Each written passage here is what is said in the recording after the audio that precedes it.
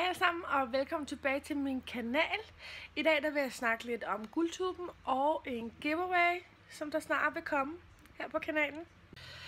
Guldtuben den er jo lige nu på det højeste, og lige nu der kan man nominere folk, og jeg vil jo selvfølgelig, selvom jeg godt ved, at jeg ikke er en af de øh, største YouTubere, vil jeg jo blive rigtig glad, hvis I vil stemme på mig. Jeg synes for eksempel, at øh, I godt måtte stemme på mig i øh, årets vlogger. Nej. Øhm, og så synes jeg da også, at årets humor, altså der synes jeg virkelig, vi er henne i, at Brian er blevet limet fast til toiletbrættet. Det synes jeg i hvert fald er humor.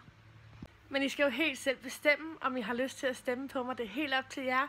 Jeg elsker jer alle sammen, uanset hvad.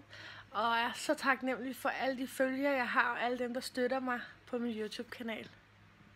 Så skal vi snakke lidt om min giveaway, min coming up giveaway. Der går måske lige lidt før den kommer endnu, men når jeg runder 5.000 abonnenter, så kommer der en kæmpe slik giveaway. Det vil sige, at en af mine dejlige følgere vil vinde en kasse fyldt med forskellige slik, når jeg runder 5.000 abonnenter. Så den giveaway vil I høre meget mere om, når vi nærmer os de 5.000. Det var bare en kort video, hvor jeg vil lige fortælle, at der kommer en giveaway, når jeg runder 5.000 abonnenter. Og øh, det var lidt om guldtuben også.